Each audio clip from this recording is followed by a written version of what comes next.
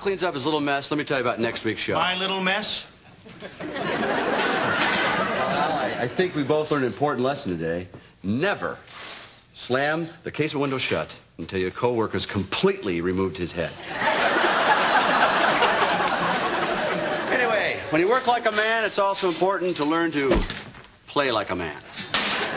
Because after all, all work and no play makes you just like Al. This weekend there'll be plenty of men playing at the Detroit area Scottish Highland Games.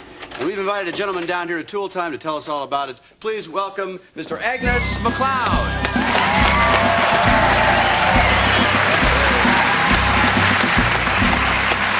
Welcome to the show, Agnes. That's Angus, not Agnes. Uh, the, the skirt threw me off a little bit. Actually, Tim, lots of very masculine men wear skirts. I bet they all find you very attractive, Al. I, should point out, Timmy, it, it's not a skirt, it's a Scottish kilt. See there, it's a kilt, not a skirt. And this weekend, Tim and I will be participating in the Highland Games to promote Project Literacy. And what a time we'll have. There'll be jumping, drumming, sheepdog demonstrations, and the caber toss. The caber toss? Aye! It's part of the Scottish track and field. You grab a big log, you hold it like this, you get a running start, and throw it end of it end, so it lands in a straight line.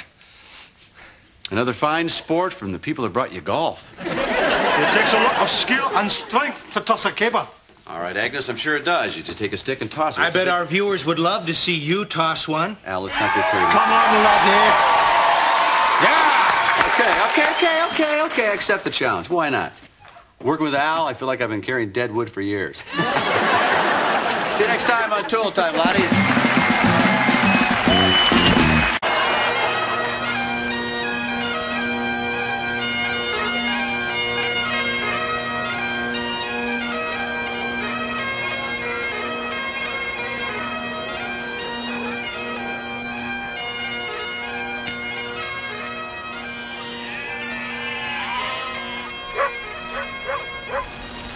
Thing's like cherry.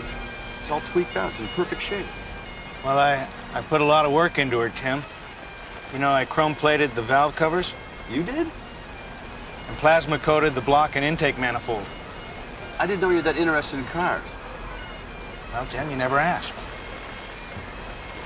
I'm impressed. Not a lot of guys who take the time and the money to tweak out an 84 Mercury Marquis wagon.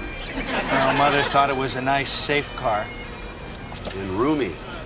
It'll come in handy if you ever get married or get a date.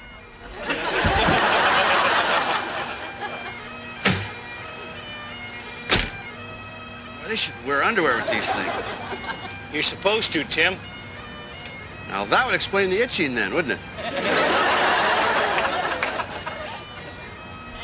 Morning, fellas. Welcome, laddies. Hey, bud. I see you got here early. Yep. Nothing like getting up at the crack of dawn, smell of wet sheep, and rocking out to that music. Out! We got here so Tim could practice and not embarrass himself. Now you worry too much. What could possibly... Ooh, whoa. That's a caber? Aye, 18 foot long. Semisar is taking a practice toss. Why don't you take one yourself, Timmy? Great. I can't wait. Maybe you should start with a smaller caber. I? we've got the shorter ones the ladies use. You think I can handle a full-size one? All right. Oh, You got it? oi, oi, oi, oi. Hear it now. Pretty good, Tim. You, uh,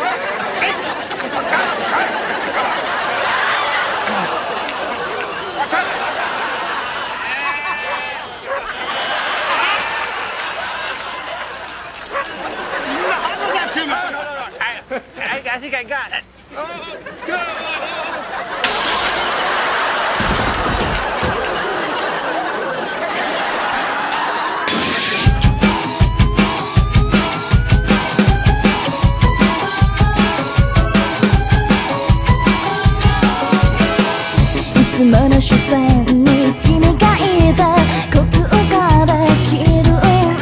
Thank you.